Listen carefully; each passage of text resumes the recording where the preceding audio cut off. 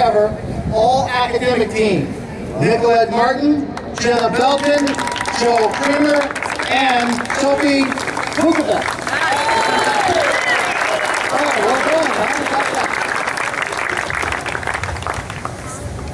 Let's see, all right. Ladies and gentlemen, that is it.